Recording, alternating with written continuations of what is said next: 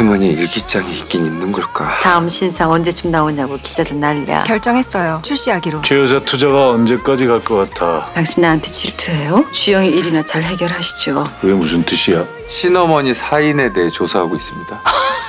그래, 내가 죽였어, 내가. 어쩔래?